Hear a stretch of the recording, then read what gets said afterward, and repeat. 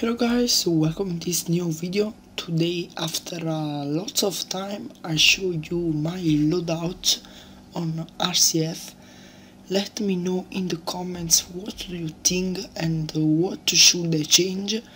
My favorite loadout is the third because it's the bundle that I like most. But in this game loadouts are not important like uh, RC2 because you can't switch them in game.